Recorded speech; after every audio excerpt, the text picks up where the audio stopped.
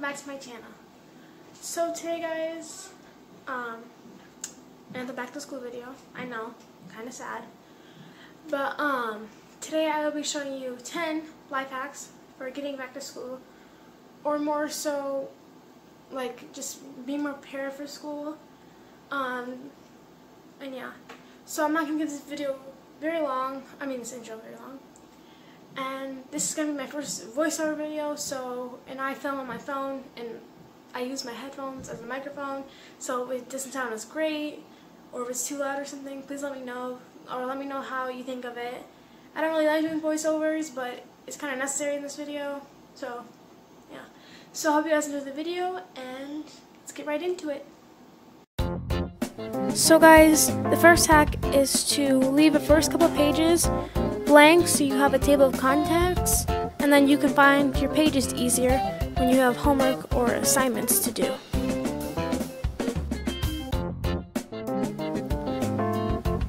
Another hack for this too is also that pen, blue pen, works better to help remember things rather than black or red.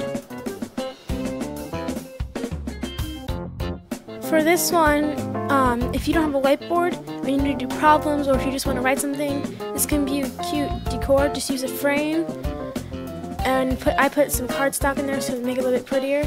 So it just helps. Um, it's like a DIY whiteboard and it's really easy, simple, and small. So you can take it with you in your book bag or your binder or put it in your locker. If you don't know whether to use affect or effect with an A or an E, because they mean different things, you can also use impact, and it works for both, so you'll never get it wrong. And it applies to both, so like you never have to auto. You don't have to correct it. This next one is another writing hack. It's that when if you're reading postcards, um, make them each in different ink, so that when you're reading them off in front of the class or something, they're easy to remember and to say. If you ever need to study, but you keep getting texts or alarms go off or you get reminders or notifications, just um, go to turn off, your um, turn on airplane mode so that nothing bothers you. Because if you don't, you're just going to keep getting notifications and you're going to keep getting distracted. I also recommend turning your phone off if you want to do that too, but if you just need like the time or something still, but you don't want to like turn your phone off, you just have to go to your settings and go to airplane mode. And I'll show you how to do that in the next clip.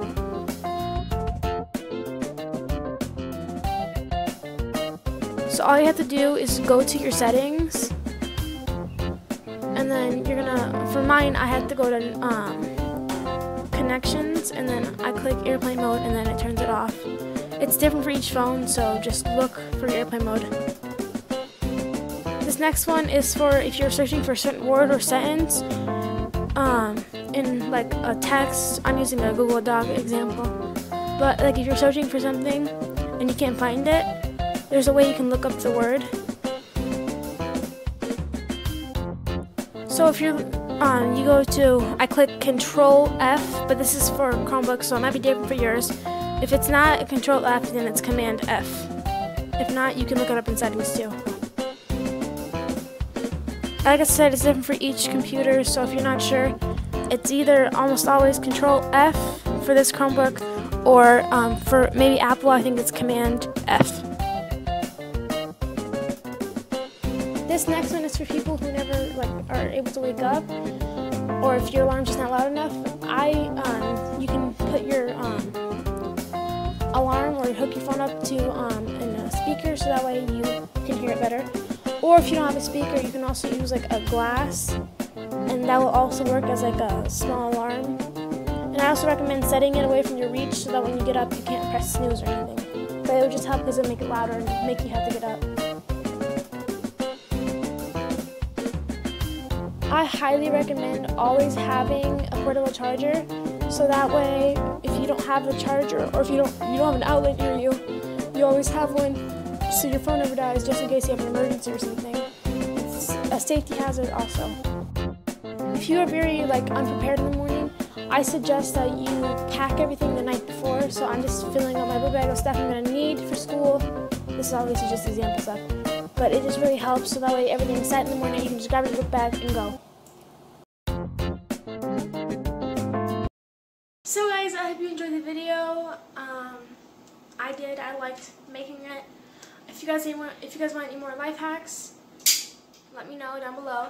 Also, if you guys want um, any, I'm making more back to school for the next few weeks. It's not going to be like all back to school, but like I'm going to start making more back to school videos to get back into that season.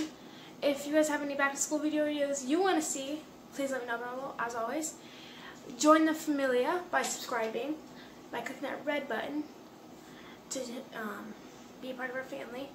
Give this video a big thumbs up. Make sure to turn on post notifications so you get notified every time I upload. And also, make sure to follow me on Instagram at Sarah Bear. It will also be down below. And I'll see you guys next time. Peace out.